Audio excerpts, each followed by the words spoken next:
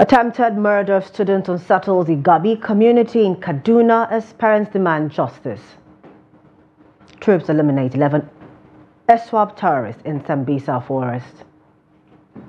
National grid collapses for fourth time in 2024. On the foreign scene, Niger, Mali, Burkina Faso turn their backs on ECOWAS coup leader says. Hello and welcome to Trust TV's news update.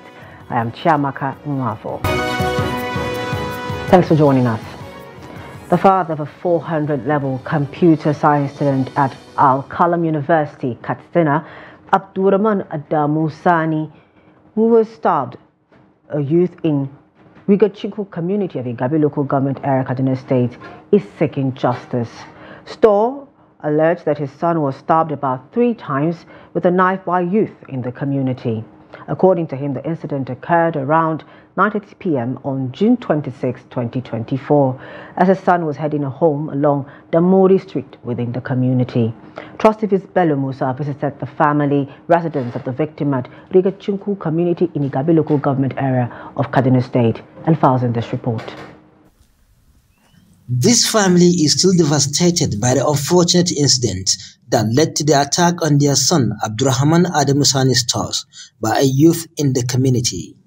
Let the man be punished. Let him know that it is wrong. What is wrong in the boy overtaking him? What the boy's crime? What crime was he? There was threatening to kill him. Because the more he had him, the, the, the had him said, "We will kill you." How? Why? Just overtaking? This this is uh, what you call road rage. So you did something very small and somebody is annoyed to the extent that he would he is carrying a knife with him. You take a knife, you follow somebody, you choke him, rip his stomach. You intend to kill him. According to the family, Abdurrahman was rushed to the hospital in a cold blood trying to see uh, what, what's happening. Uh, they have by that time they have already tore his stomach. His, his intestines, intestines, as I was told, were dangling. The boy is already on the ground. Uh, three times they tore, they puncture and tore, and they even choked him on the, on the hands, on, on the thigh with a knife. Then the, when they realized probably they have finished with him, they entered their car. By that time, people have started gathering. They drove back, they reversed at high speed to, uh, to the uh, junction of the road and drove off. I have never experienced this kind of horrific incident before. When we took Abdurrahman to the hospital, his intestines were out, and I thought he would not survive it, but he did. Because as the one who was holding him, I realized he was only crying for help.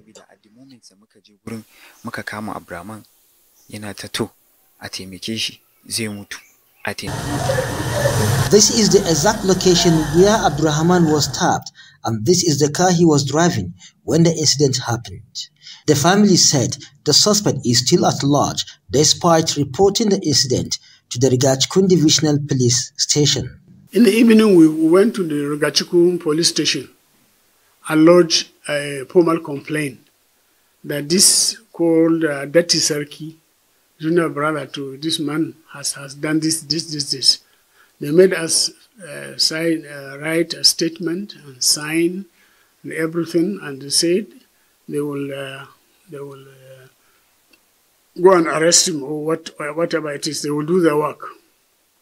That is uh, on, on, on Thursday evening. Up to now, we didn't hear anything from them. Abdurrahman is currently at the hospital receiving treatment. Ina son a hukunta wanda ya aikata wannan al'amarin. Ina son a hukunta wanda ya aikata wannan al'amarin. I want the authorities concerned to take decisive action. We were told that that boy has been terrorizing people. We want Abdurrahman's case to be the last. Ina kiran ga hukumar da duk wanda wannan al'amarin ya shafa. justice for Abdurrahman, just like the youth put the, the youth put it on, on internet, on Instagram, um, on everywhere. Justice for Abdurrahman. Let this man be brought to court, arrested, tried, and if found guilty, convicted. Because if you don't punish people, they believe they are above the law. We don't, we don't want it buried under the carpet. No. The State Police Command Public Relations Officer ASP Mansir Hassan could not be reached to comment on the matter. Bello Musa, Trust TV News Kaduna. Hopefully, Abdurrahman and his family gets the justice they deserve. Now to more security stories. Troops of the Nigerian Army deployed for special clearance operations in Sambisa Forest have eliminated 11 Islamic states of West Africa province ISWAP terrorists. The Nigerian Army, in a statement on its official X handle on Saturday, said the defeat was achieved following a coordinated special clearance operation with a hybrid force from terrorist enclave in Jongo village within the notorious Sambisa forest. It said the troops targeted the enclave and engaged the terrorists in a fierce gun battle, killing some while others fled. The army said its troops further conducted exploitation ahead of the enclave, leading to the capture of some arms. According to the Post, arms recovered from the terrorists include 99 rounds of 7.62 by 54 mm on metal link, 19 rounds of 7.62 by 39 mm, three AK-47 rifle magazines, two 36 hand grenades, and two locally made guns. The Pan-Yoruba Social, Cultural and Social Political Organization Afenifere on Friday expressed concern over the resurgence of kidnapping, banditry, attacks on security officers and continuous herders farmers clashes in the country. In a statement by spokesman Jare Ajayi, Afenifere urged the federal government to deploy modern technology to combat the incessant menace. The group said the recent kidnappings, attacks, and farmer herder crisis have become a worrisome trend that needs urgent attention from government. Afenifere, while calling for a serious review of the country's security architecture, maintained that the plan by the government to engage communities and block avenues through which terrorists and kidnappers recruit more members should be put into action immediately.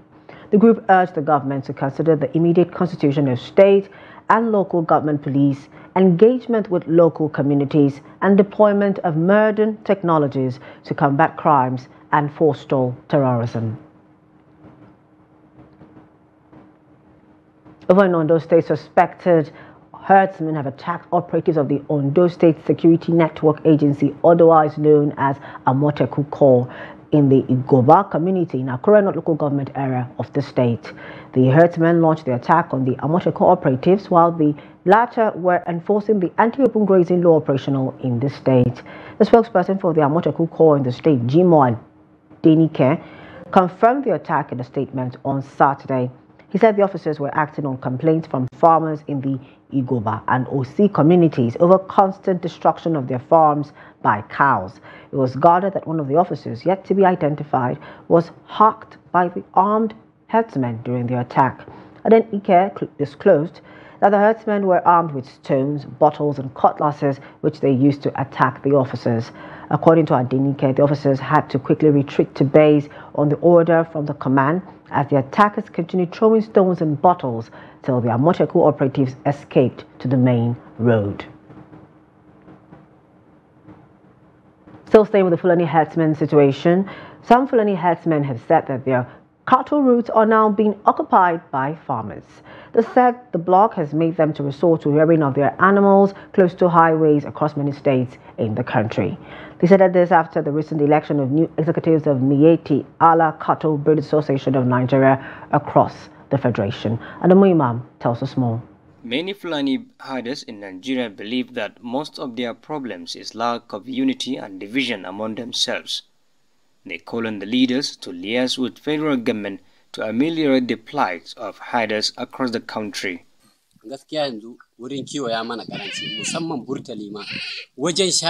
We no longer have enough space to rear our animals, especially our cattle, because the route has been overtaken by farmers, and sadly, we have no say. We want the new leadership to address our challenges because we only follow their lead. So they should do the needful.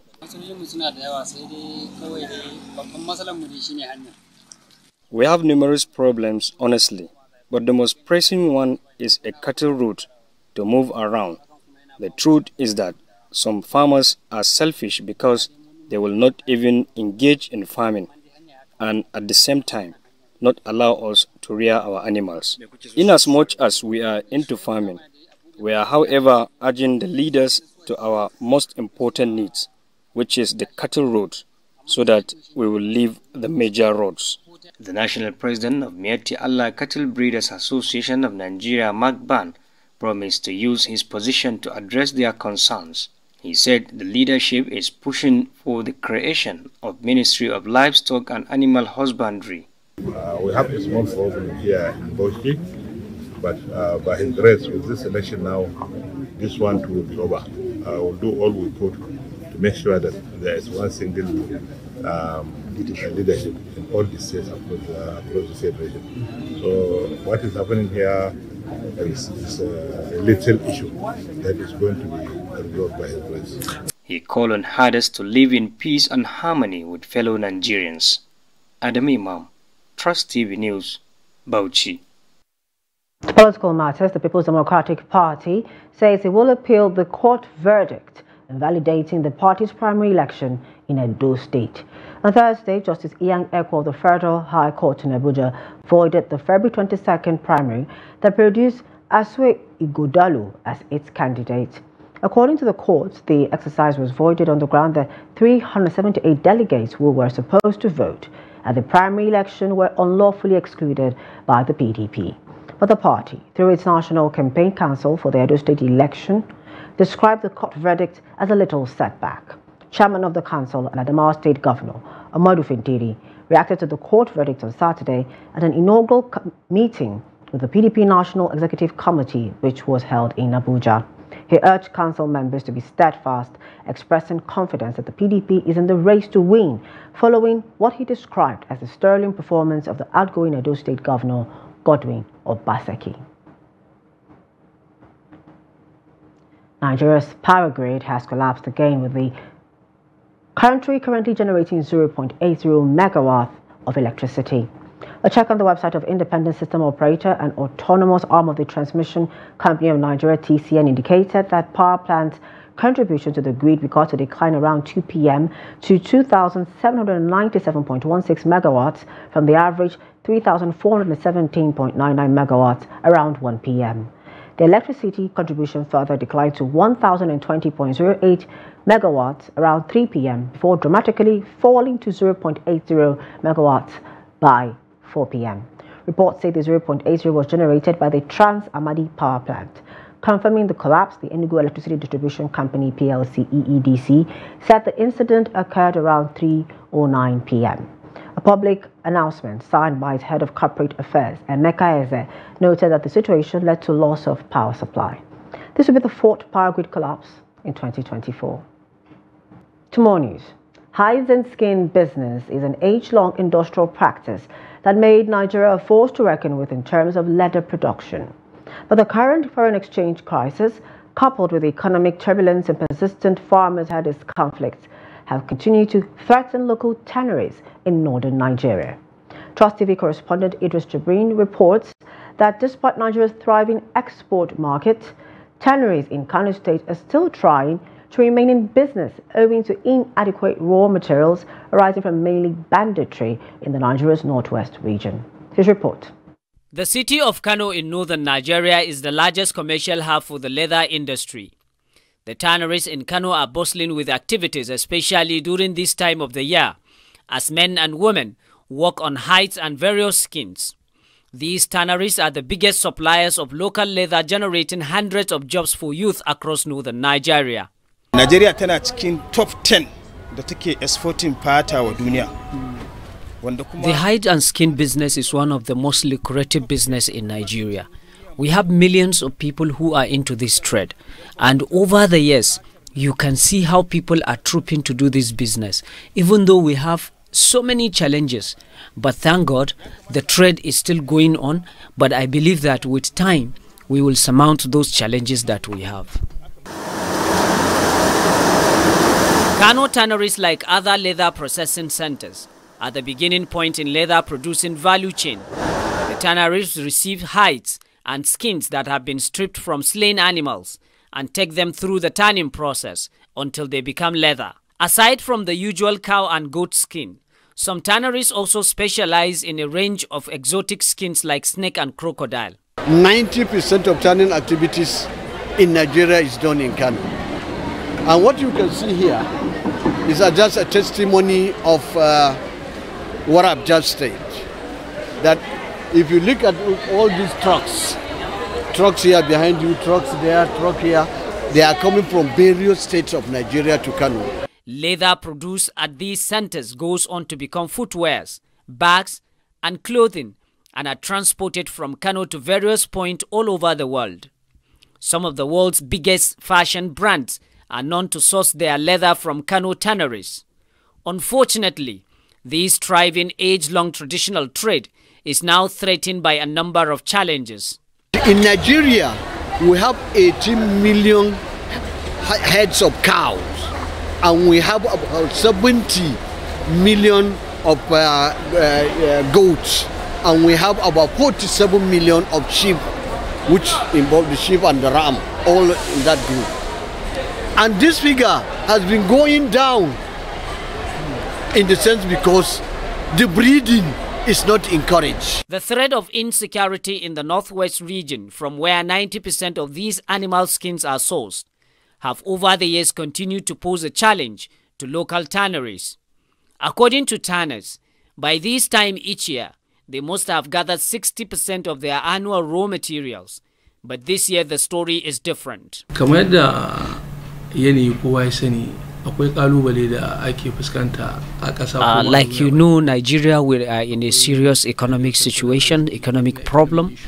And uh, for us who are dealing with tanneries most of our raw materials we used to get it from villages and towns across northern Nigeria, particularly in the northwest. And you know about the issue of banditry and kidnappings that is that, that, that are happening in this axis. This is seriously affecting our businesses. Apart from the threat of insecurity, unfavorable government policies, the inadequate capital, and the current high cost of living among Nigerians seems to have made it almost impossible for most tanneries, with the exception of Kano, Tan, and a few others, to continue to remain in business.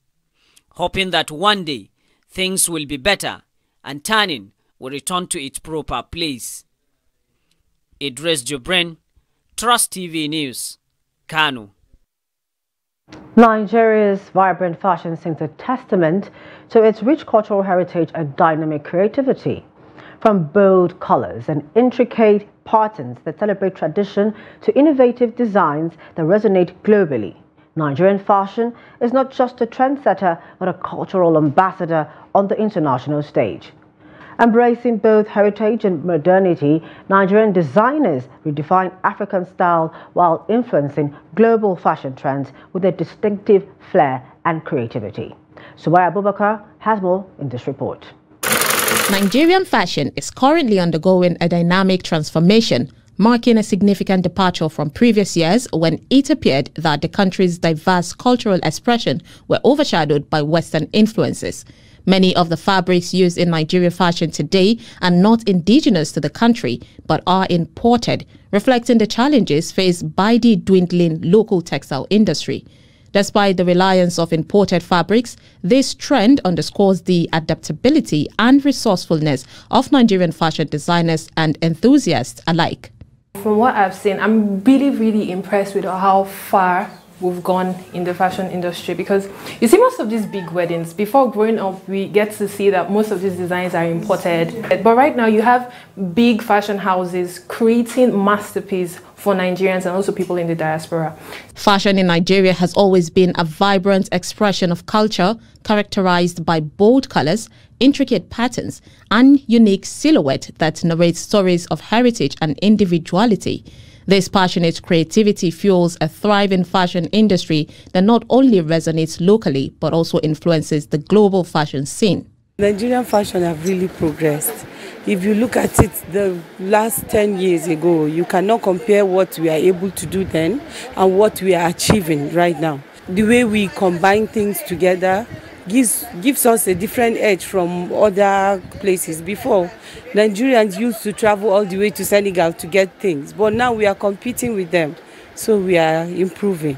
The Nigerian industry has grown really well like right now you get to see people creating designs for Nigerians and also people in the diaspora. As a matter of fact, people in the diaspora are coming to Nigeria to create designs. Yeah, Nigerian fashion has evolved in a lot of ways because I have seen Nigeria move from almost nothing to almost everything in Nigeria. We started from when the whole world doesn't even recognize us when it comes to fashion, but now I am proud to say that Nigeria has gone globally. Nigerian fashion is a celebration of heritage, and these designs are reshaping African style with a global perspective, pushing boundaries and setting new trends. As Nigerian fashion continues to evolve, Nigerians are not only setting trends but also influencing global fashion, showcasing the unique essence of Nigerian style. I feel like Nigerian designers, we've, we've carried the whole idea of fashion on our shoulders. And if you go on social media, you get to see that almost pe people from different parts of Africa are dressing the Nigerian fashion because of how much we've imposed ourselves or how much we've, uh, you know, um, expressed ourselves in the fashion industry. When you look at Nigerian fashion, the way they combine their things, like we do a lot of stonework if you look at Senegalese stonework, you see that Nigerian stones come out more better, more creative way. If you see um, um, clothing that are from Nigeria, they are quite different from what you see from Senegal. Things that comes from Senegal are uniform things, but when you see things from Nigeria, you really you cannot uh, just but admire them and love them. As Nigerian fashion continues to evolve, Nigerians are not only setting trends but also influencing global fashion, showcasing the unique essence of Nigerian style.